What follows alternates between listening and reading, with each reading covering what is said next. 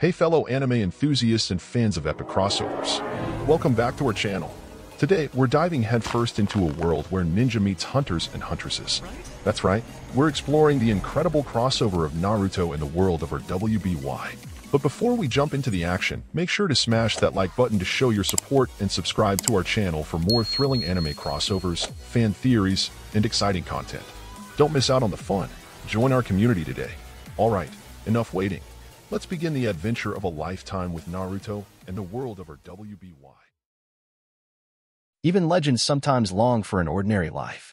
Sadly, their lives are seldom simple. You're certainly no exception. Life is an explosion. I once heard a madman say that. Oddly enough, those words stuck with me. Maybe he was onto something. He was blonde too.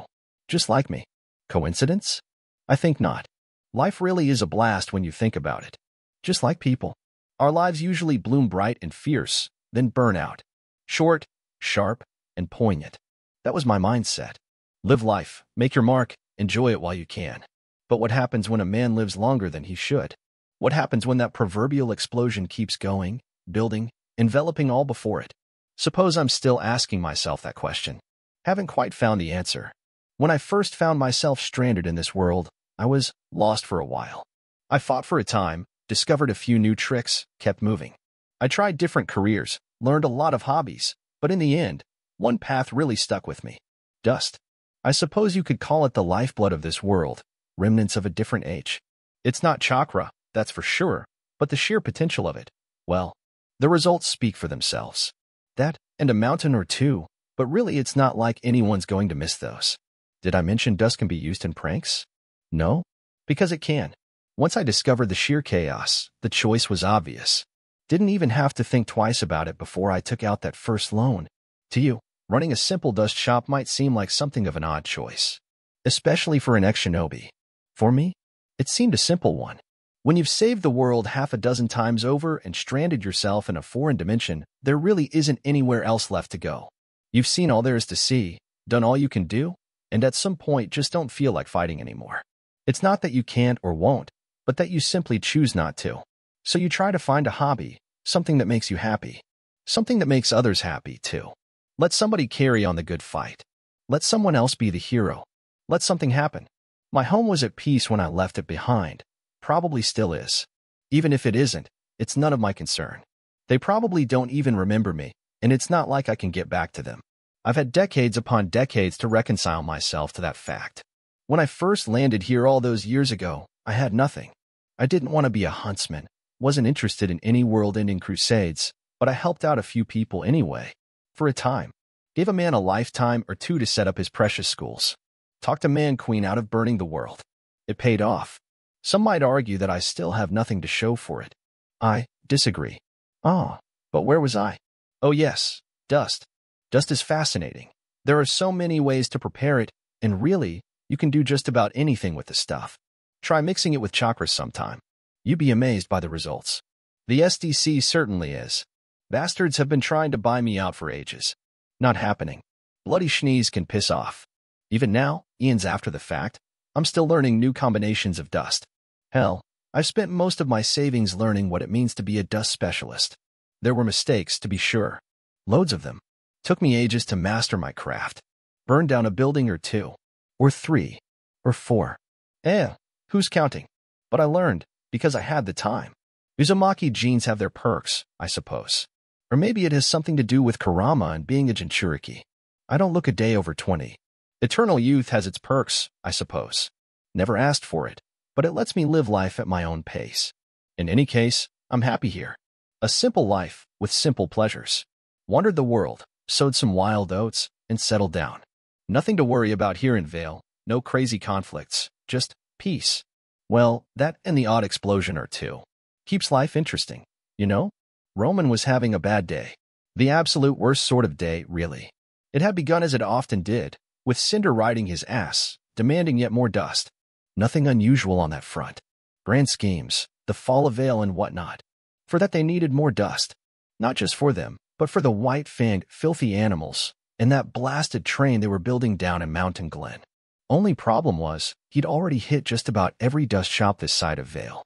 You see, that was something of another problem, because Junior had lent him these men for the evening, and he was expected to pay them, which he couldn't very well do because apparently the rest of said shops hadn't had a chance to resupply after last week's raid.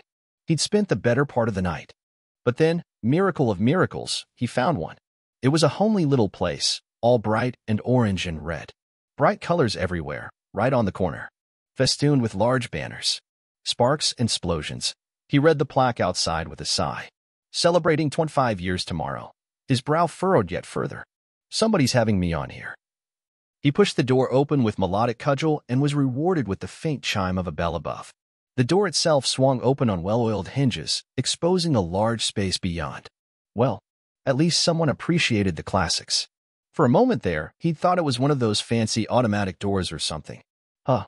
Larger on the inside, too. Funny how that worked. But you see, that wasn't important. The dust was. And by the brothers, did this place have dust. Jackpot. Rows and rows of it, as far as the eye could see. Welcome to Sparks and Explosions. A merry voice called from the counter. What'll it be? Junior's men filed in after Roman, grounding off the sales spiel before it could take off. Do you have any idea how hard it is to find a dust shop open this late? The teller looked up. Already, Roman imagined the terror writ all over their face. SH, SH, SH, he put in quickly before they could scream. Calm down. We're not here for your money. Hand over the dust. The cashier looked up with an expression of utter boredom. Roman's calm evaporated. At a glance, he wasn't much to look at. Blonde hair, a bit of silver at the edges. Blue eyes. Whiskered cheeks. Handsome enough, but not enough to be noticed or remembered. He wore a simple orange turtleneck against the cold with dark slacks and a strange necklace, coupled with an odd, what was that? A headband or something. Had some kind of weird leaf insignia on it that Roman didn't recognize. May, probably not important. Oddly enough, there was a critter on the counter. A fox, of all things. Small and orange with nine flowing tails, it looked harmless enough on the surface. Downright adorable, really. He found himself stricken by the strange urge to pet the damn thing. Blast it. Don't focus on that, man. You have a job to do. I'm sorry, the cashier spoke slowly, drawing each word out with great care. Are you robbing me? No, one of the men drawled. We're here to sell you Girl Scout cookies. The clerk tilted his head. You are? I'll take three boxes, then. Roman flung up his arms. Quiet. You. What kind of lunatic was this? Did he not realize what was going on here? Honestly, he was beginning to suspect that the lot of them were just off. None of them made any moves toward the teller, or was he the manager? Despite his lack of weaponry, no one moved. Not a single soul. You know, as Roman looked on, the young man stretched. You really don't have to do this. His back produced a harsh pop. You could just leave. Torchwick tugged his hat down. I really can't. If he failed here, Cinder would tear strips out of his hide. To say nothing of Neo. The blasted fire bitch had them under her thumb right and proper. The only way out was through. Through this one, if necessary. He didn't want to kill this mook, but he would if it came to it. At the end of the day, he valued his life more. You must be that Torchwick fellow. The teller leaned back, mildly bemused. Heard you've been raiding dust shops all over Vale. Was wondering when you'd come my way. Yeah, well, here I am. He flicked a gaze to his men. Grabbed the dust. His cane clicked when they didn't move. Crystals. Firm. Uncut. Hop to it. The blonde planted a hand on his chin but made no attempt to stop them. Do you have any idea who you're robbing? No. A tilt of the head. Does the name Naruto ring a bell? It did, but the memory was vague. So he lied. Nope. Not a one. Really? Wonderful. The man clapped his hands, startling him. I'm afraid it's been something of a slow night, you see. Had to send most of the staff home early. Give him the night off, you know. Melodic cudgel barked once, discharging a round into the ceiling. Bits of plaster sprayed down. An alarm went off. It was worth it for the frown his actions drew. He looked up, regarding the hole in his ceiling as one might a particularly nasty stain on his shirt. Blue eyes narrowed. Swept back to him. I'm afraid you'll have to pay for that. Pay? Roman choked down a snarl. Listen, you little shit. I'm not playing around here. Apparently, neither were they, because that furry little critter on the counter hopped upright then spoke. They never learn, do they? Its voice was low and deep, the growl of a creature who shouldn't exist in this world. It's always so nice to be underestimated. What the hell is that thing? Hey, never get tired of that, the blonde agreed as he climbed to his feet. Hey, melodic cudgel jabbed his chin. Hands where I can see, him, old man. Old, the blonde sniffed in contempt. Hey, I'll have you know I'm only 9,000. You must be joking. I'm really not. Still, the whiskered fool persisted. Walk away, son. Something flashed through those blue orbs.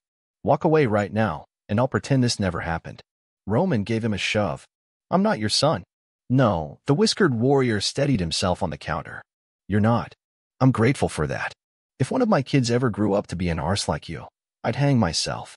Maybe we've been alive a little too long, Kurama. He rolled his shoulders. Seems everyone's forgotten about us. Maybe it's time we reminded them. Roman's temper slipped its leash. Perhaps it was the stress that made him snap the way he did. Maybe it was the lack of coffee, or the fact that he hadn't had a smoke all night. Or maybe, just maybe, it was the infuriating bastard before him. Really, who could say? Probably the latter, though. It was too much. He'd had enough. No, more than enough. With a snarl, he cracked the manager across the face with his cane and sent him sprawling. I don't think you understand what's going on here. His weapon cracked down again, striking the back of the blonde's skull when he tried to rise. You are being robbed.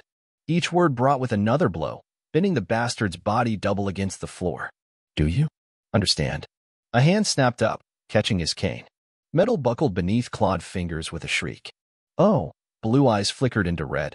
I understand perfectly. His free hand surged up, palm cradling a sudden surge of light within. Rasengan. It was a single word, but it became a hurricane. A snarling sphere smashed into Roman's exposed torso. Wall. Glass.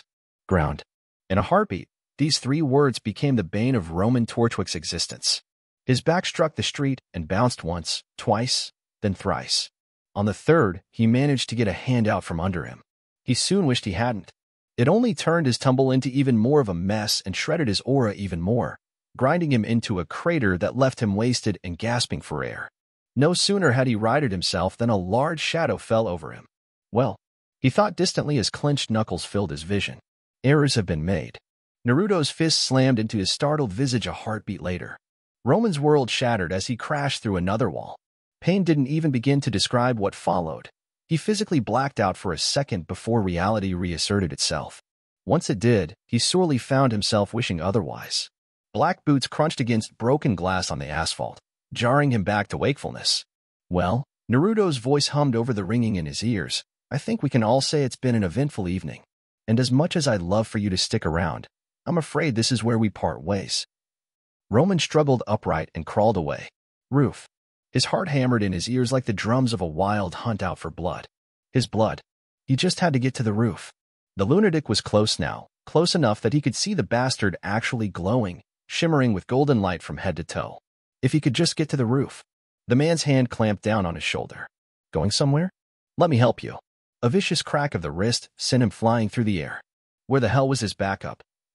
Another window shattered as someone rode one of his men outside like a toboggan. Right, the girl with the giant scythe. Nope. To hell with this. This wasn't his night. But at least the blonde was distracted. It was enough. Somehow, he made it to the ladder. A trembling hand tried to close around the lowest rung, pulling himself upright. He could hear the whine of a bullhead high above, promising him safety if he yet made it. Another hand closed around a second rung, hauling himself upright. Firm hands found him once again and dragged him down, denying him the safety he so sought. Run back to your master and give them this message. Baleful blue eyes met his. Keep the hell out of my shop. Then he launched him into the air. Ruby whistled softly and touched a pale hand to her forehead. Oh, wow. That guy really flew. Is he going to be all right? She looked on as the shopkeeper silently sauntered over to his ruined window. The very same window she'd shattered when she kicked that suit-wearing hooligan. Terror dawned as she collapsed Crescent Rose behind her back. Oh no. He wasn't going to bar her from his shop. Was he? She whimpered a little as he glowered down at the glass. He totally was. New. Blasted. She heard him sigh. I just paid this place off, too. I'm sorry. The words burst from her with such intensity that the owner jumped where he stood. I didn't mean to. He rounded on her with a sigh. You, forget it. You're not in trouble. Was that it? For a moment, she'd been afraid he might call the cops. He didn't seem all that upset about it. Weird old man. Well, not really old. He just had a bit of silver in his eyes. Silver was cool. He'd handled that bad guy so easily. Was he a huntsman? He looked capable enough, but she didn't see a weapon anywhere on him. Ex-huntsman, then? He blinked down at her. You have silver eyes. Ruby returned the blink with one of her own. Yeah. It's nothing. He shook his head. You just remind me of someone. Forget I said anything. She really couldn't. The words wormed their way into Ruby's brain and took root. Sue. Um, her little knees twisted in thinly veiled anxiety as she remembered why she'd come here in the first place. I don't suppose you have any high-impact dust rounds for sale? For sale? A small smile bloomed across his whiskered face. Kiddo, you helped me throw those punks out of my shop. For that, you get a lifetime discount. She perked up like a puppy. Ooh, discounts were nice. How much we talking about here, mister? Naruto. Not mister. His smile became a grin. How does 50% sound? Ruby's eyes got really big. 50. 50. Ruby squealed. Best. Shop. Ever. Her legs betrayed her. She didn't run. She vanished in a blur of crimson petals and struck Naruto's chest at speed. To his credit, the blonde reacted better than most, in that he braced his feet and only grunted a little. One hand came down on her head, stroking her dark hair. Without thinking, she leaned into his palm. Huh. The gesture felt oddly familiar. And then the faint click of heels against broken glass cut between them. Naruto let go of her as if he'd been scalded. Just as well, too, because when Ruby peeked around him, she saw someone far more terrifying. Another blonde, but the difference between these two was like night and day. That black and white outfit, those piercing green eyes, the way she carried herself, every part of her screamed danger. Huntress. Definitely a huntress. Maybe she could ask for her autograph? Hey, Glynda. Naruto dared a Johnny little wave. Long time no see. Look, if it's about the shop, I already handled. I'm not here for you. The woman's crop flicked out. I'm here for her. Ruby squeaked. Me.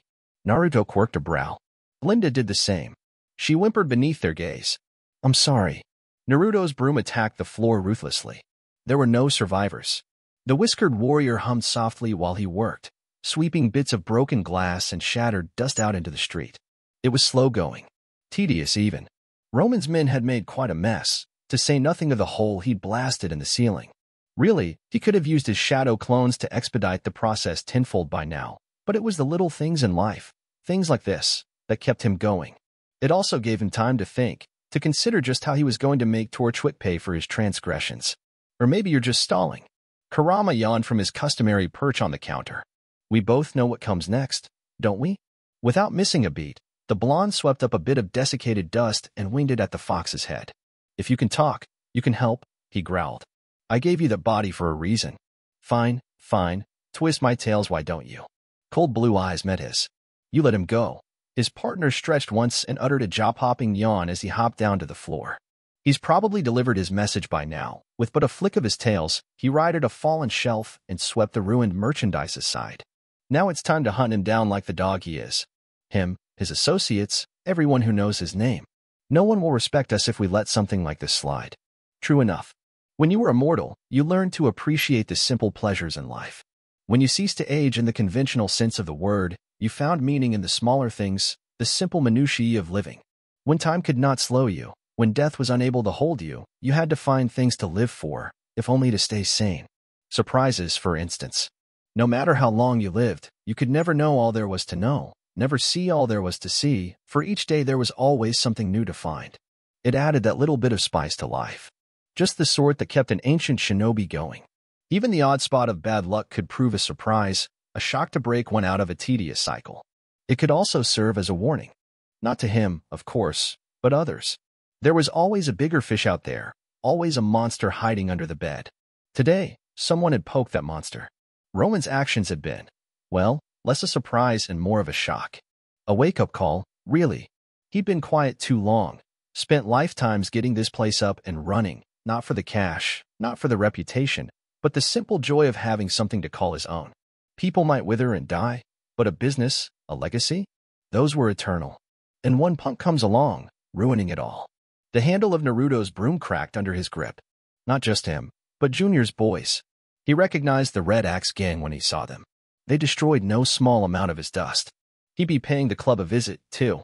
Kurama was right. Maybe it was time to clean house. Time to remind the world why you didn't mess with a man's life. A phone rang in the back, cutting the dark spiral of his thoughts short. Blue eyes shifted to regard it. Glass and masonry crunched underfoot as he stalked towards it.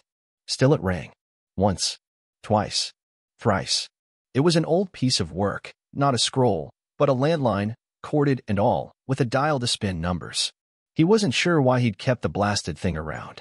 Nostalgia? Memories of a simpler time? Who could say? Kurama hopped onto his shoulder. You gonna get that? Naruto didn't speak. He reached down, and after a moment's hesitation, picked it up. Hello, old friend. A familiar voice came through immediately. I heard about your shop. You have my condolences. You're in a great deal of trouble, Miss Rose. Ruby flailed her arms in a vain attempt to ward the words off, to no avail. They hit her like a physical blow, sending all her hopes and dreams crashing to the ground. Was this the end? Was she going to jail? No, she rallied her thoughts. This wasn't a police station. Miss Goodwitch had brought her here, wherever here was, but it certainly wasn't downtown. But why? She whimpered a little. I was fighting bad guys. I did good. You did. The man before her tinted his fingers with a sigh, but it does not excuse your crimes. You inflicted significant property damage on that shop. Right? Calm down. Remember, this wasn't a police station. This was probably Headmaster Ozpin's office, likely one of the many he kept around Vale. He couldn't arrest her, could he? Oh gods, what if he could? She didn't want to go to jail. She was too young, too pure. They'd eat her alive. Naruto said I wasn't in trouble. Her voice hitched a little. He did. Be that as it may, Ozpin winced, almost as if he were afraid of something. We cannot simply let you off lightly on this. Am I? Her voice warbled and she swallowed once to recover. Am I going to jail? That depends. The ancient hunter blinked. Do you wish to? She made a keening noise through her teeth. Knew. That was a joke. Here at last his countenance softened. You'll simply be repaying your debt to Mr. Uzumaki. He laughed a little as she collapsed like a wet noodle in her chair. You will work in his establishment on the weekends until such a time as your debt is repaid. Wait, why weekends? Because, he continued with a smile, I suspect you'll be quite busy with your new coursework in the meantime. New what, now?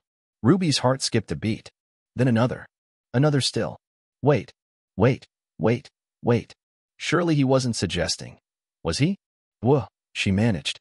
Ozpin leaned forward and offered her his hand. I do hope you'll be less rambunctious in Beacon, Miss Rose. Was he moving her ahead two years? A full two years. Ruby's heart howled back to life, turning her pale face a bright shade of red. Full steam ahead. All systems are a go. Forward, forward, forward. She lunged across the desk and clasped his hand, pumping it up and down like a madwoman. Thank you, thank you, thank you. I'll be the best huntress ever. Do not thank me, dear girl. He withdrew, rubbing his arm with a wince. Thank Naruto. He called in a favor and a personal favor. That chagrined smile returned, more rueful than ever before.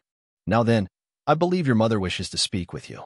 All of Ruby's newfound joy turned to ashes in her mouth. Meep, any chance you can, I dunno, pretend I'm not here? He sighed. I'm afraid that Fox is out of the bag. Wait, that's not how you say. The door slammed open behind her, cutting the girl short. Ruby rose. A familiar voice cried. You are in so much trouble, young lady. Roman was late. On a certain level, Cinder wasn't surprised. One could hardly trust a common criminal to keep their word in this day and age. No honor among thieves and all that. Roman had always been surly, and it wasn't as though he had chosen to cooperate with them. He and Neo had been forced into this arrangement, like so many others before him. Still, was it so wrong to expect a little professionalism in this day and age? Their place of meeting wasn't much better. Golden eyes flicked about, regarding her surroundings with nothing short of disdain. What had Roman called this place? The club? How droll. Even a private room such as this was too dingy for her tastes. Too much red by half, to say nothing of the wine. It wouldn't suit her needs. For now, honestly, it galled her. She couldn't wait to be rid of this filthy city. If it wasn't the bad wine, it was the people. At least Emerald and Mercury had the good grace to be silent. Perhaps they'd sensed her mood. Perhaps not. She didn't much care at the moment. When Roman finally stumbled in, she considered killing him out of principle if nothing less. The man looked awful. His white coat was tattered and stained, his hat horribly dinted, and good gods, he reeked. The smell alone was nearly enough to make her eyes water. Only her finer instincts prevented her from pinching her nose outright. Had he gone swimming in a dumpster? Where have you been? Such a nice boss I have. Torchwick collapsed on the couch opposite her, all but sprawling himself out without a care in the world. How are you, Roman? How was your day, Roman? Why do you look like crap, Roman? Cinder exhaled slowly. Must. Not. kill. This. This was why she loathed working with common criminals. Always so crass. Always thinking of themselves and nothing else. Always so small in their worldview. Never once thinking of the bigger picture nor the long term. For all his flair and panache, Roman was no different. Ah, but he was speaking to her, and she must attend. Her gaze flitted over him, noting the curious lack of the case she'd given him. Where's the dust? Don't have it. A slender brow rose. Excuse me? Some guy threw me out. He sat up with a growl and began massaging his dinner hat. Beat my ass, then kicked me to the curb like I was nothing. You cannot be serious. Cinder's mouth twisted and a grimace fused with a snarl. Worthless fool. You lost to a common shopkeeper? Of course not. Roman's voice cracked like a whip, surprising her with its intensity. What do you take me for? Many things. A fool, a lek, hired help. But she'd assumed he was at least reasonably competent. Now it seemed that assumption was all for naught. Disgraceful. He'd gone with a score of Junior's men, meaning he was hardly alone at the time. And yet here he was, broken and battered. She leaned forward in her chair. Was it a huntsman? He winced. Well, no, but... So he had lost to a civilian then. Deplorable. A strange nagging sensation tugged at the back of her thoughts. Surely not. What were the chances? She folded one leg over the other as she poured herself another glass of wine. Her luck wasn't that bad. It couldn't be. Yet that thorn of doubt continued to tug at her nonetheless. It just wouldn't let her be. Curious. Do you recall the name of this shop? Eh, it was some dinky little place. Roman shrugged. Nothing special. Sparks, explosions, I think. Weird name. No. Joke's on him, though. He chortled, unaware of her dread.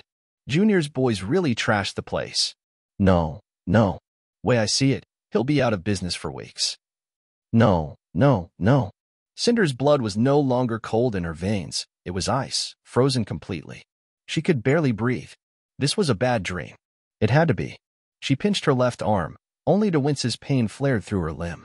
Not a dream, then. This was terribly, horribly real. Fury heated her heart, breaking her free from her frigid stupor. You must be tired, Roman, she whispered at last. Come here. Have a drink. He had her warily, but yielded beneath her state. Don't mind if I do. Like a good little worm, Roman did as he was bade. She poured, filling his cup to the brim. Roman accepted the glass that was offered and drank. His glass clinked against hers. Cinder waited, watched as he downed it in a single gulp, her body coiled like a viper.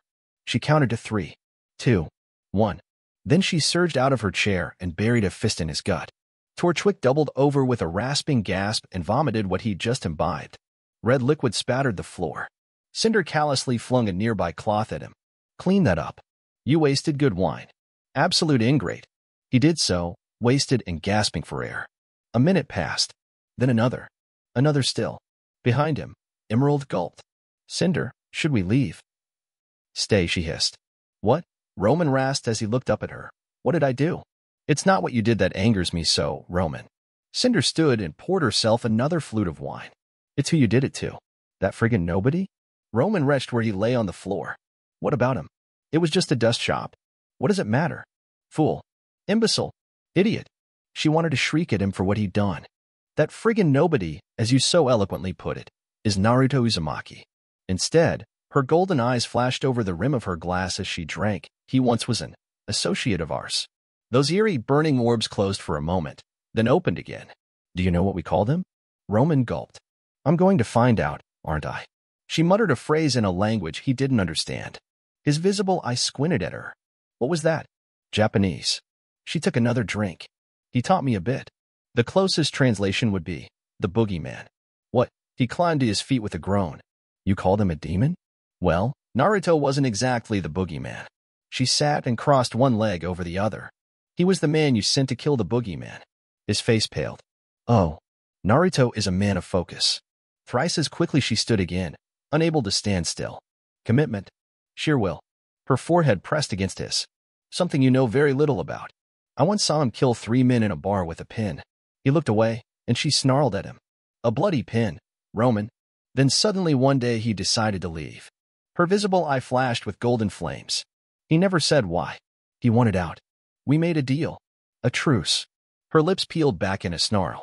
And then, Roman, a few days before the anniversary of said truce, you raid his shop, destroy his stock, and smash his windows in. To be fair, he hedged, that last bit was the kid. Eh? I do not care. Cinder rounded on him with a hiss, temper still and spent. Her glass struck the wall and shattered, spraying bloody wine everywhere. Roman recoiled. I can fix this. Oh, she cocked a slender brow. How? Torchwick actually stood a little straighter, the fool, by finishing what I started. Didn't he hear a word I said? Cinder cast a despairing glance at Emerald, then whirled and drew him into an embrace. Naruto will come for you, and you will do nothing, because you can do nothing. But he let me go. Only to send a message to me. She pulled away and touched his cheek. There is nothing he loves more than the thrill of the hunt. Her palm caressed his face. I should know. He taught me a great deal, after all. I suspect he'll be paying Junior and his men a visit as well. But you. Without neither word or warning, her hand twisted, striking him. Roman's head snapped to the side. You have endangered years of planning. Flame leaped to her hand, promising pain if he raised so much as a finger against her. All my schemes will be naught because of you. She brandished the globe of fire at him with intent. Count yourself grateful I don't kill you here and now. Get out of my sight. Roman got. The door slammed behind him. Cinder whirled and began to pace immediately thereafter. She had to fix this. She must fix this. He could ruin everything. Would ruin everything. She couldn't hope to stop him. Few could. Ozpin himself turned a blind eye to his activities, catered to him, appeased him, for fear of provoking his wrath. Nor would Salem dare involve herself in this. Which meant... She reached for her coat and donned it quickly. I'm going out. Ma'am? Emerald flinched but a little. I don't understand. Do you want us to come with you, eh? No. Cinder paused, realizing how shrill she just sounded. No, she repeated, forcing her voice to regain its calm tenor. That won't be necessary. She had to speak with him. Did she still have his old number? Of course she did. She committed it to memory. Something told her a phone call would be insensitive if she didn't visit afterward. Fine. In person, then. It presented a great danger to her, of course, to say nothing of her pride. But there could be no risk without reward. Call first, then a visit. Right. So be it. Face to face it was, then. Nothing else would suffice. Damn Roman to hell. In the shadow of Junior's club, a knife found a man's throat. The bouncer in question went still. No, it would be better to say that he froze. He ceased to move, blink, or even breathe. Every fiber of his being locked up as those words whispered in his ear. His mind became intimately aware of his surroundings, of the darkness, of the man standing within it, of that cold, cruel steel hooked against his jugular. His very soul gibbered for mercy, pleading that if he was just quiet enough, that if he just didn't move, then maybe he'd be left well enough alone. Hello, Francis. You look good. No such luck. The guard dared a threat of breath and turned his head just so, hoping to hell he was wrong. He was not. Baleful blue eyes gazed back at him, set within a whiskered face framed by messy blonde hair. He discarded his shopkeeper's attire in favor of a crisp navy suit with a striking red tie, darker than blood itself. On anyone else, it would have been gauche. On him, it was a reminder. This man didn't need a knife to kill him. That he had brought one at all said more than most. He was being kind. This was a man who had shown him mercy once in the past, a man who allowed him to reform and change his ways. He wondered if he would be shown such mercy a second time. Mr. Uzumaki, he swallowed once as his voice broke. Now, now, don't be formal. But look at you. You've moved up in the world. A smile touched the blonde's face. Lost a bit of weight, have we? Francis swallowed again, unable to mask his accent for fear of what might happen if he did. Fifty pounds. Fifty men inside. He prayed his associate understood the warning. Naruto inclined his head just so. That's good, good. A hand patted his back, pulling the pistol from his belt. You won't mind if I take this, will you? He didn't have much of a choice, did he? You couldn't fight this man. You could try, but you would die. The gangs had tried once. Once. Never again. And he didn't want to die. He had a family, grandchildren in Atlas. He wanted to see them again. Oh, gods. He didn't want to die here. Are you here on business tonight? I'm afraid so, Francis. Blue eyes flashed in the dark, gleaming red in the glow. Why don't you take the night off? The knife slowly fell away from his throat, jagged metal kissing skin, but not breaking it. Francis, report. Junior's voice hissed through his earpiece. Any sign of him? Francis tugged out the earpiece with trembling fingers. Only then did he turn to face him. Thank you, sir. All he found was empty air. No one was there. Knock, knock, knock. It was the sound of doom, a steady thud-thud-thud that echoed against the door. Three knocks. Like drums out for blood. Junior knew it in his soul. He'd known it the moment his men started screaming behind that door, known that there was nowhere to go, nowhere to run, nowhere he could possibly hope to hide where this creature couldn't find him. So he didn't try at all. Even as the door buckled and shook, even as the last of his gang died bloody, he stood at the bar, bottle in hand, and drank. Liquid courage fortified him, not enough to make him drunk, but it was all he had. All this, for a single mistake. It was just a dust shop. How was he to know that thing lived in Vale? He'd never been told. Or if he had, he'd forgotten. He wasn't sure which. He couldn't remember anymore. He wasn't sure he wanted to, not after the sounds he'd heard. The doors crashed open, and his killer stalked over the threshold at a brisk pace, eyes narrow and intent. There wasn't so much as a drop of blood on him. Not a one. A mountain of bodies behind him, and not a drop of blood anywhere other than his weapons of choice. Blue eyes met his. You know, I never did like guns. His knife flicked out once, carving a scarlet smile on the last man's throat. The fool went down with a bloody gurgle. So uncivilized. Wouldn't you agree? Melanie tried to bar his path, bless her simple soul, and was summarily swatted through a wall like a straw doll. Miltia made the same mistake and joined her sister not a moment later. Hei winced at the awful sound that followed. He wasn't even sure if they still lived. No, wait. They were groaning. Thank the gods for small mercies. Because he had the distinct feeling he wouldn't be receiving any. Where is he, Junior? I don't know. He dropped the bottle and raised both hands to show himself harmless, I swear. Honest to gods. He was here an hour ago, but he left. Do you really want to start a war with the underworld over this? You misunderstand. This isn't war. This? His hand rose. This is pest control. Junior raised his hands higher, shielding his face. I didn't know it was you. And now you do. The rejoinder was swift. Are you sorry?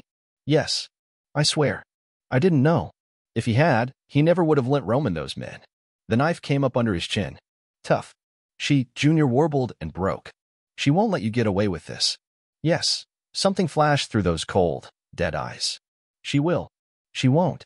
You truly believe that, don't you? His killer regarded him for a long moment. All right, I've got time.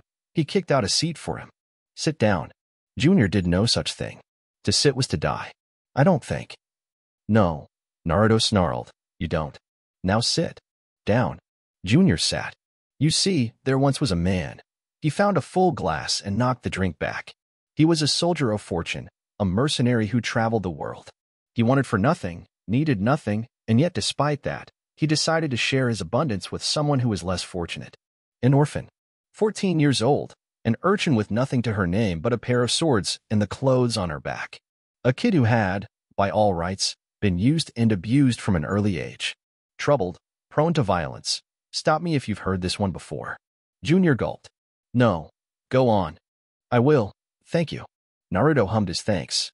So this good man opened his home to this girl, and when she stole from him, this good man loved her anyway.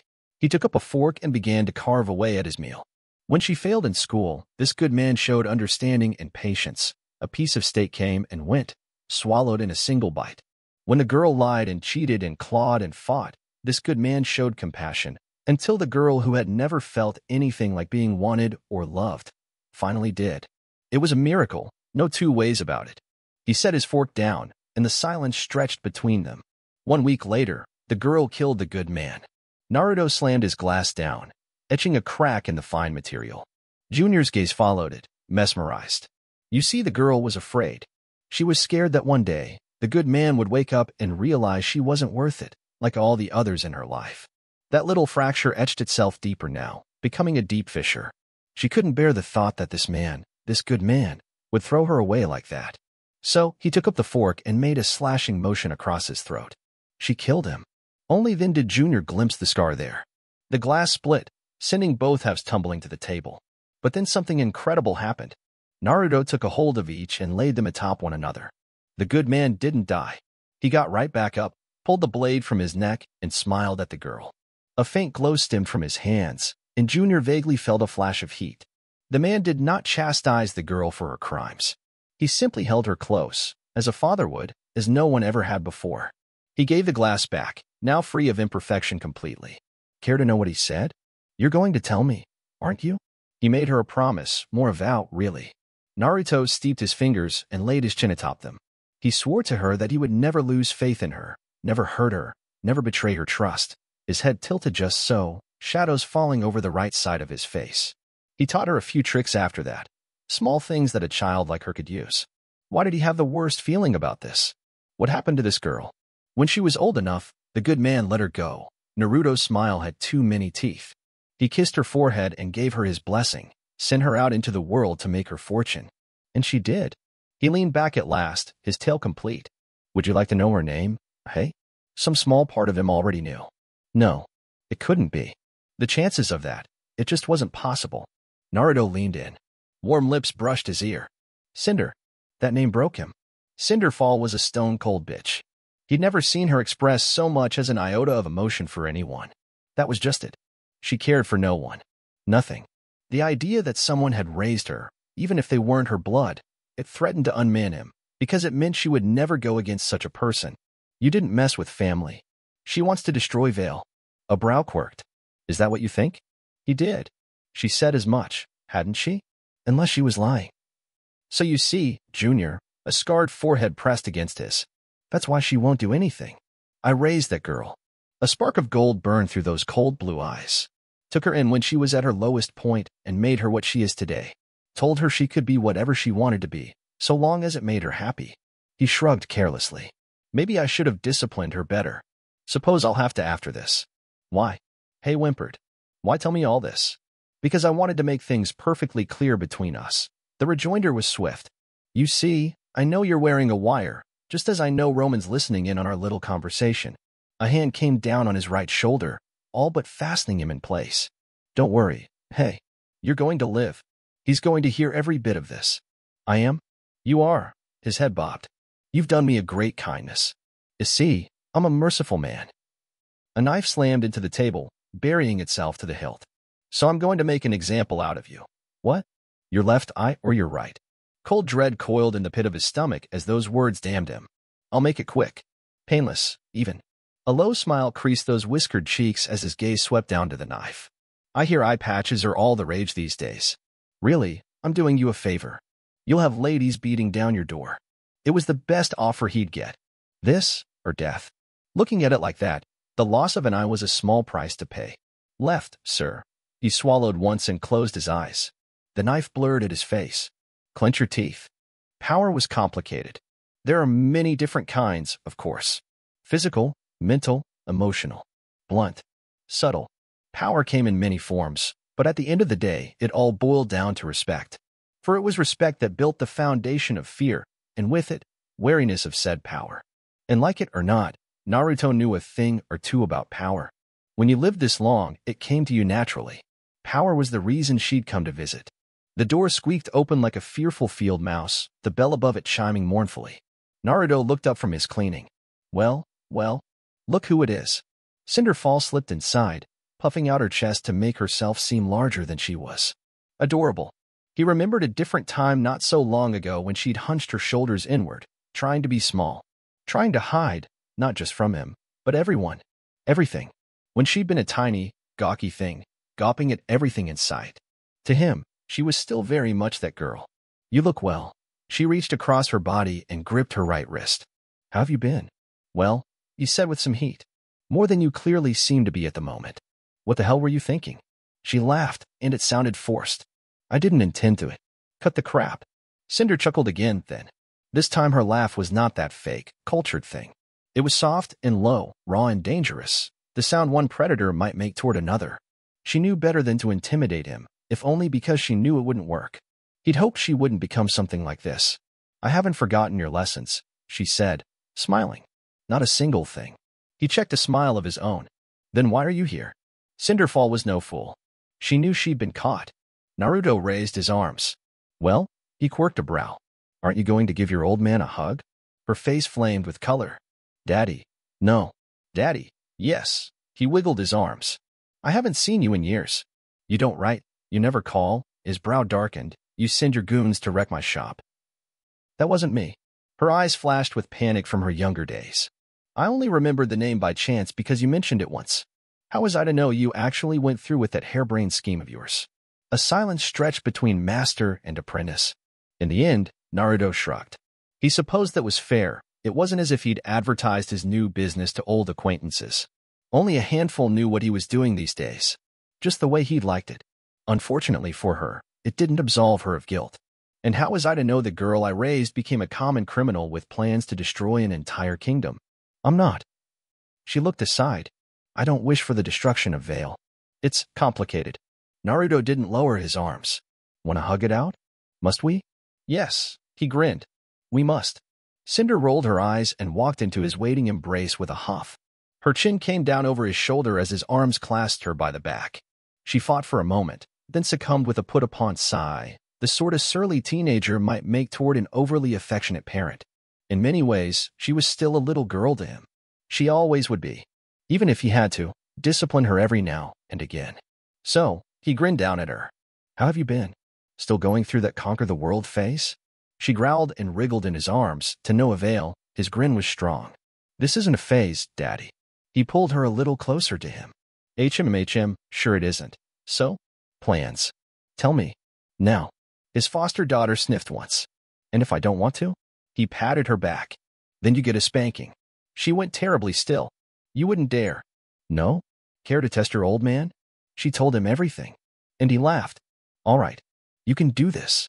Summer Rose whispered the words to herself as she approached the dust shop. You'll be fine. She spurred herself forward in spite of her fear. It's only been 15 years. Sure, 15 years of total radio silence between the two of them. Summer's confidence, what little she had left, threatened to shrivel up at the reminder. 15 years since their last mission together, and she'd not spoken to him since. It wasn't fair. How was she to know he'd been so close, and yet so far? She was all but mumbling by the time she grasped the handle. Her feet cemented themselves to the floor, refusing to budge another inch. It was all she could do to psych herself up. She could do this. She was a huntress, a silver-eyed warrior. She'd faced down Grimm time and time again, escaped certain death, and lived to tell the tale. She could do this. She would do this. Just be brave. She only had a few minutes to do this. Ruby would be reporting for her first day any minute now and she had to get this out of the way before her darling daughter arrived. Trembling fingers twisted the latch, and she heard voices. Simply doesn't warrant the damages. Was someone there? Summer stilled, unwilling to interrupt. Gentlemen, she heard him then, the low timbre of his voice muffled through the wood. It seems I've been away too long, that I've been forgotten. Silver Eyes peeked up through the door window and beheld a familiar face near the entrance. His face, just as she remembered him. Are you really trying to shortchange me here? He spoke to two men, each wearing crisp white suits. Familiar suits. One of them muttered something less than flattering. Thought so. This reeks of Jacques. He's meddling again, isn't he? All right. Here's what we're gonna do. Naruto climbed to his feet and moved around the counter. If you schmucks don't pay me the insurance money that I am so rightfully owed for the damage MY shop has suffered, he jabbed one finger into the left man's chest with intent, your head, he whipped around and jabbed a digit at the other. Is going up his arse. There was a silence as one of them replied. He sighed. You sure you want to ride this train, little man? You can't touch us. This time, the response came through loud and clear. The SDC would have your hide if you harmed so much as a hair. His words peaked into a ghastly wail as the blonde grabbed him by the face and moved. An awful ripping sound filled the air, punctuated by a second scream that had no business coming from a grown man's throat. Cloth ripped. Something else tore. Rapid footsteps approached, and the door swung open in her face. Summer dove out of the way. Two men soared out, conjoined in a way no one wanted to imagine, and crashed into a building. They were still screaming when someone stalked out the door past her. Excuse me. A young woman all but stumbled past her, pale face sick with nausea, bright eyes half lidded in embarrassment as she covered her mouth with one hand. Summer had all of an instant to take her in. Clad in a deep red dress that clung to her curves like sin, she was a beauty like no other, golden eyes sharp and framed by long, lustrous midnight black dark hair. Then she was gone, heels clicking harshly against the sidewalk. Don't forget to visit tonight. A familiar voice called at her back. The young woman pivoted in place and flipped him the bird before she stalked off. Summer's heart sank, and all her courage withered as a flower would in the dead of winter. Nope. Couldn't do it. She whirled to flee, a thorn of concern pricked her heart and held her back. Naruto was in many ways the wind. He could be calm and gentle, a cool spring breeze to those he loved. But when his wrath was roused, when he was angry, when someone took something from him, well, she had seen the results firsthand. Hurricane, tornado, cyclone, there weren't nearly enough words to describe the absolute avatar of annihilation he became. After all, one did not simply leave the life of a shinobi behind. A life like his followed you. It clung to you, infecting everything you were, everything you loved. If there was even the slightest chance that anger was directed at Ruby, unlikely as it may seem, no, she couldn't risk it, no matter how embarrassing it might be for her. She had a duty as a mother. Duty trumped fear any day. So she plucked up her courage and darted into the shop before that fear could get the better of her and sent her scurrying. Keeping her body low to the ground, she skirted a broken shelf and poked her head around the corner. Quietly now, quietly. Broken glass crunched underfoot, and she was betrayed. Naruto looked up, caught in the process of toweling his bloodied hands with a damp cloth, and granted her a small smile. Hello, sweetie. Summer's heart skipped a single treacherous beat. Irk. Silver eyes were drawn inexorably to blue, and without thinking, she yanked her hood up. Without the glass acting as a barrier between them, she could see him perfectly, just as he could see her. Really, it wasn't fair. He hadn't aged a day since she'd seen him last. Nope, not fair. Not fair at all. Belatedly, his words caught up with her. The smallest of pouts tugged at her lips. Thought I told you to stop calling me that. You did. He granted her a crooked grin as he leaned against the counter. I chose not to listen. There's a difference. So, his head cocked to one side, rather reminding her of a certain fox. What brings you to my shop after all this time? What do you think? A familiar yawn arose somewhere behind her. She obviously wanted to check in on you. Her gaze found Kurama's false form easily enough. He'd all but curled himself up on a pillow near the counter, much like a cat. Anyone else would have thought him an adorable little fox, albeit one with nine tails. She knew better. She'd seen things. As she looked on, the small fox raised one of his many tails in a lazy greeting. She found herself returning it before she caught her wrist. Are you angry? Both man and beast blinked. Why would we be angry? That was it? Seriously? Just like that? Oh, gods, they weren't even mad? It would have been so much better if they were. Anger, she could have dealt with. Sorrow, tears, anything but this. He was just happy to see her, and Kurama with him. She hadn't expected them to be so calm, happy to see her even. Had she really come all this way for nothing? Summer? Fine. She leaned on a shelf, only to wince when it crashed to the floor and fell apart at her feet. Oh, you know, I was just in the area. I don't blame Ruby for the damage. His words were a knife, cutting her fears to the quick. It wasn't her fault, you know. Her shoulders slumped. Oh, thank God. I mean, after all, Naruto favored her with a rueful smile. She's mine, isn't she? Ack. Double irk. How? Isn't it remarkable how four little words can make you come undone? Just like that, all of Summer's carefully wrought plans and schemes were falling apart. She'd come here intending to be an adult about all this, come under the pretense of checking in on him, making sure he was all right after all this time, not plotting Armageddon on his enemies. She hadn't intended to broach the subject of Ruby's parentage quite that bluntly. How? Tai's been dead for a while, Summer. Naruto picked up an upturned chair and plunked down in it with a sigh. I may be a lot of things, but I'm not blind. Speaking of which, her brow furrowed. That woman I saw earlier. Cinder, the blonde blinked. What about her? Are the two of you? What? No. He recoiled and made a face. I adopted her a while back when she was just a runt. She was just paying her respects and promising her support. It was a good explanation. Too good. Paranoia reared its ugly head despite her best efforts. So you're not. I'd rather shag a cactus than shack up with a girl I all but raised. Thank you very much. For all his fire and strength, Naruto had always been something of a bleeding heart where children were involved. It sounded so very like him to pick a girl off the street and take her under his wing. His words to her earlier made sense. He told her to come back tonight. And the way she'd rolled her eyes at him, even flipped him off, those weren't the acts of a lover. Why did that make her feel better? Just to clarify, she swallowed once. I'm sorry about the way things ended. He scratched at a whiskered cheek. That makes two of us. Shit happens. People move on. Have you? Naruto's head snapped up. The rest of him went curiously still. Anyone else might have been concerned by the sudden intensity of his gaze. Not Summer. She kicked at the cracked flooring with one boot, unwilling to meet his eyes for fear of what she might find there. Blast it. She hadn't meant to say it like that. Treachery. Bad brain. This betrayal would be remembered. I really haven't. There was a curious note of longing in his voice, one she remembered all too well. I missed you. She peeked at him through her hair and watched his right hand curl into a fist. Me, too. Her heart twitched. She really had missed him. It really was a stupid fight, wasn't it? I'm sorry I snapped at you back then. He sighed. Do you even remember what we were fighting about? Her head bobbed in a tiny knot. She did. She tried to change him once. After Tai never came back from that god-awful mission.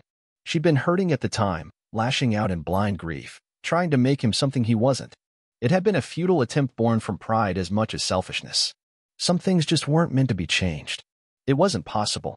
You couldn't alter the color of the sky any more than you could snuff out the sun. Years of self-reflection, and being a single parent raising two girls, helped her to realize that. And he was standing here before her, looking every bit as miserable as she felt. Well, that simplified things. Yes, that simplified things a great deal.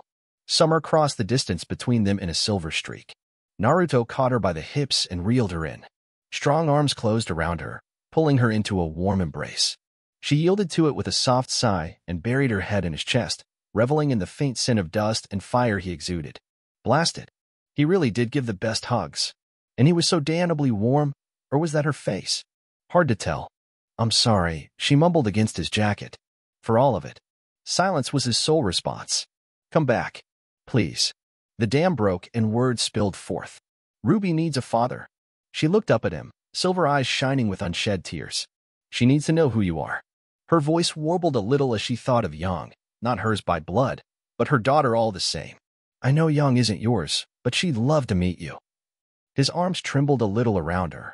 I think I'd like that. When he tried to pull away, she held tight. Summer? Nope, she muttered. You're mine now. Never letting go. Reigniting their passion could come later. For now, she just wanted to savor this. It felt good to have him back, like she'd reclaimed a little piece of himself. Here in this moment, she didn't care about the past, where he'd gone, who he might have been with, or any such hypothetical concerns. She was first. She would always be first. I'll talk to Ozpin about the insurance. She babbled into his chest, mouth running away with her. I know he told you about Ruby working here, but you won't even have to pay her all that much. We'll get this sorted. He chortled a little against her. I take it you saw that last bit with the insurance agents. It. She slapped his chest. Half a Vale probably heard those too. Did you really have to shove that guy's head up his? To be fair, I'm fairly certain they were working for Jacques. Jacques Schnee? Her smile froze. Oh, is that so? I just might have to pay him a visit. Personally. Naruto frowned. Summer, no. Summer, yes. Ahem. And then Kurama opened his big mouth. If the two of you are quite done making eyes at one another, we have a store to run. Summer scowled at the little red terror. Oi, watch it, Fox. Oi, watch it, Huntress. He sang right back. If the two of you want to canoodle, get a room. Preferably one far away from me. You're entirely too noisy. I can wait. Naruto nudged her hip with an elbow. You can leave out the back when you're ready.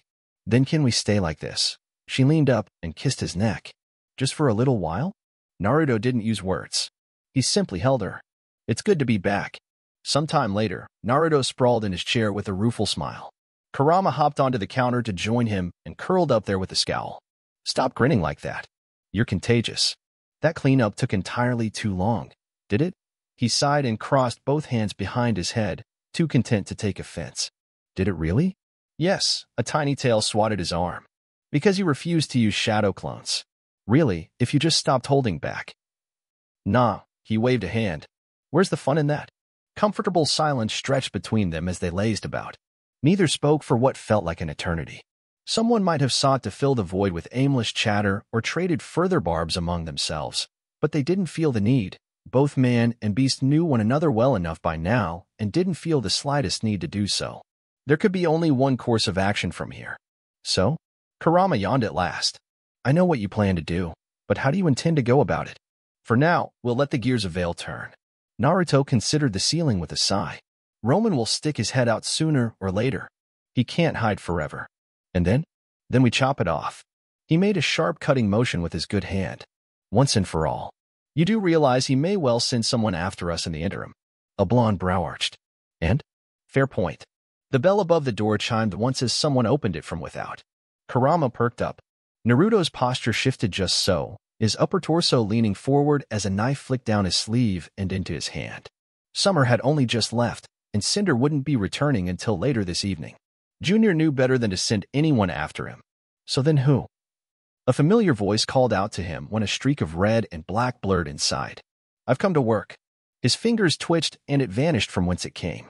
Oh, he leaned back, concealing it's just you, Ruby. Now that he knew what to look for, he really could see the resemblance as she scampered through the door. She was Summer's daughter all right, but beneath that he saw something else, those ever so faint dual whisker marks tripling her cheeks. Ruby was quick on her feet, almost unnaturally so. Something told him that if he turned his senses on her, he might find the faintest stirring of chakra coils there. He chose not to, if only because she wasn't alone, and for fear of what he might find. No, she wasn't alone at all. That was most certainly a belladonna on her right, and a schnee on her left. He'd known a few of both during his heyday, and more recently. Mercifully, neither looked a thing like him. Or perhaps they simply took after their mothers. In theory, it shouldn't be too hard to conceal whiskered cheeks with a bit of makeup. Perhaps he was being too paranoid. Wow, a low whistle pierced the gloom. You really did a number on this place, huh, sis? He recognized Raven and Tai's brat last. One, because she brought up the rear and two, it was absolutely impossible to miss the blonde bombshell. Arms crossed behind her head, she craned her neck to and fro, surveying the damage to his shop with keen lilac eyes. The last living piece of Taiyang Xiao Long in this world. It almost hurt to see her. Really, he'd have to pay Raven a visit one of these days and smack some sense into her. Ruby made a keening noise akin to steam escaping a tea kettle, snapping him back to reality. Yang, I already told you. That wasn't me. Well, she paused and cast about, as though seeing the damage for the first time in broad daylight. Maybe the window was, and possibly a shelf or two, but still, not my fault. You don't. The Schnee palmed her face. Do you not know the meaning of restraint? I do. The little reaper flailed her arms. But there were so many bad guys. Naruto took mercy on her at last. Why are you here? Eh, she jolted a little, startled by his inquiry. Ah, Ozpin said I have to work for you on the weekends, until I paid off the damages. He knew that, of course. He just said it to make her squirm a little. Really, he couldn't help but tease her. Ozpin really was a cheeky bastard, making her work for him like this. Probably afraid of pissing him off. That, or this was his way of getting back at him for forcing Ruby into Beacon two years early. Really hard to tell with the old geezer. Plans within plans, that one, ever trying to gain an advantage while keeping him placated at the same time. At least Salem made some modicum of sense, every now and again. Now that he was back, he might need to check on her, too. Wouldn't do for her to get too big for her britches. So many heads to crack, so little time.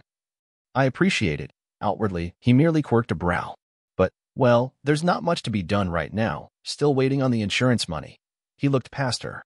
So, is this your team? Ruby made her introductions with all the energy a 15-year-old could muster. No faulting her for that. Yang he knew, and the dark-haired one was Blake, such a familiar name, but there at the end. Hmm, his gaze fixated on Weiss in particular. And and I see a Schnee. Why am I not surprised? Everywhere I go, there's always a Schnee. Weiss absolutely bridled. Excuse me? You're excused, he flicked a hand at her. Now buy something or get. I know you're good for it. He half expected her to burst out in a sputter of denial. She did not. Points to her. What came next forfeited what little goodwill she'd earned. I've heard about this place. Her gaze flitted about, considering what little intact stock he had left. Your dust is supposedly second to none. He caught the gleam in her eyes at once and didn't like it one bit. How much would it take to buy you out? A muscle jumped in his jaw. And oh, a hand snapped up, vetoing her. Why do you silly schnees always think you can buy me out?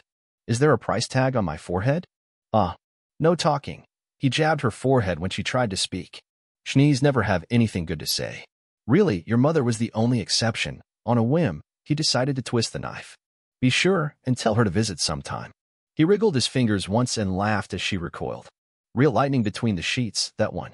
One last wistful sigh stole the fight right out of her. Those were the days. Yang whistled. Ruby gagged. Blake, wait. Why was she taking notes? He supposed it didn't matter. Weiss had already died inside.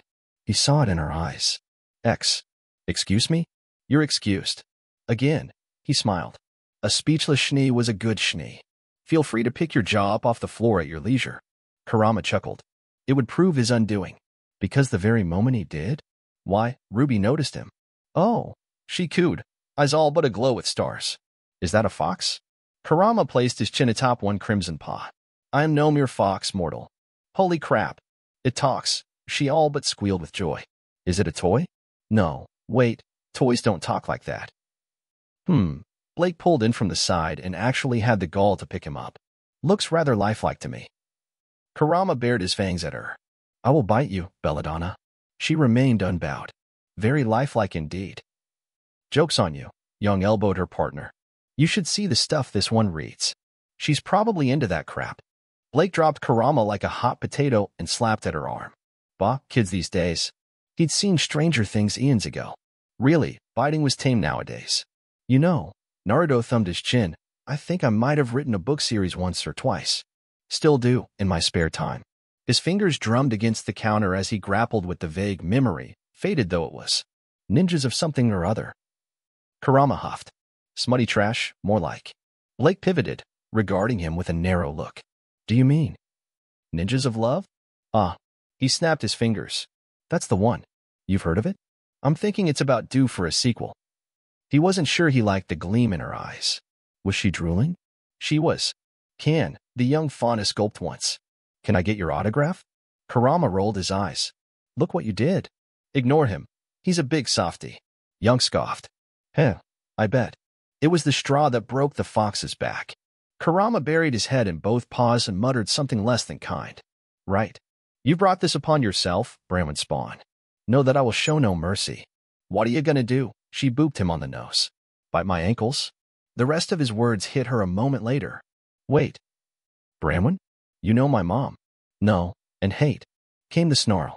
Rip and tear. Then he pounced on her. To be fair, he's nice to most people. Naruto shrugged as Yang reeled back, clawing at the angry Bijuu now tearing at her hair. You should see what he really looks like. Yang wailed. Get off, you damn kitsune. Off, off, off. You cannot comprehend the amount of tales I do not give. And? Weiss quirked a pale brow. What does he really look like? Is this a joke? Weiss, no. Ruby cried. Kurama reacted before Naruto could even hope to warn her. In a single bound, he leaped from Yang's hair, planted himself on the desk, and whirled to meet the sullen Schnee. His fur stood on end, all nine of his tails rigid as red spikes. For an awful moment, nothing happened, and Naruto wondered if his partner had lost his touch. And then, a towering golden maw filled the entirety of the Schnee's vision. Boo. Weiss toppled backward with a startled shriek. Yeek. Naruto shook his head with a rueful sigh. Well, this is my life now. He won't get me. Roman whimpered in the dark. I won't let him. Crazy bastard. I'll show him. Cinder returned that very evening. Much to his amusement, she was not alone. Welcome back. He looked up as the bell rang. Any news for me? Not quite. Her face was a curious study of contrasts, equal parts concern and anticipation wrapped up in one package. She squirmed like a naughty little girl with her hand caught in the cookie jar. Fond memories. She'd been such a wild and coltish little thing back then. I thought it best to introduce my associates. Under his watchful eye, she nudged two teenagers forward into the light to prevent any confusion in the future. This is Emerald, she gestured to the girl on her right, a dark-skinned youth with green hair and striking red eyes, and the boy is Mercury. Her left hand indicated the pale silver-haired boy at her side. Please be kind to them. Naruto looked down at them. Up to Cinder again. Down once more. Really, there was only one conclusion to make. You have kids? Cinder's eyes all but bulged. Daddy. No. Her hands clamped down to stifle the outburst, but it was too little, too late. Wide golden eyes narrowed as she realized she'd been had. Really, it was all too easy. Wait a hot minute. Mercury give a startled blink. You're her old man? Because I don't see the resemblance. There isn't one. You louse. Naruto feigned a jab at the younger man's head. I adopted her when she was about, um. He held out a hand and levered it above the counter somewhat. I'd say about this tall. Cinder whimpered. Mercury sniggered softly. Really? Emerald all but twitched. You adopted Cinder? Kurama cackled. Blunt. This one. I think I like her. Mercury blinked. Is that a talking fox? Sure is. Naruto didn't bother to contradict him, I was fixed on Emerald. What, did she adopt you too? Yes, sorta. The tan shrugged. I mean, she took me off the streets when I was younger and... Wait. He saw the moment her thoughts clicked into place. If you adopted her, and she adopted me, she held up her hands counted, doing the math before turning a hopeful expression on him. Does that make you my grandfather? Naruto's brain fizzled out. You've doomed us. Cinder all but sank into a chair. Here we go. Wait, Mercury frowned. What? I don't get it. Naruto did a double take. Blinked. Once. Twice. Thrice, now. Then he inhaled deeply. Kurama absolutely hissed. Don't you dare, too little, too late. I have a granddaughter too? Cinder groaned into her palms and doubled over. Daddy. No. Daddy. Yes. Naruto slammed to his feet. This is wonderful. I must tell everyone. Thank you for watching. If you like this video, simply tap the screen to explore more captivating stories we're sure you'll adore. And please, remember to show your support by hitting the like button and subscribing to stay updated on our latest stories. Don't forget to check the description for the author's information.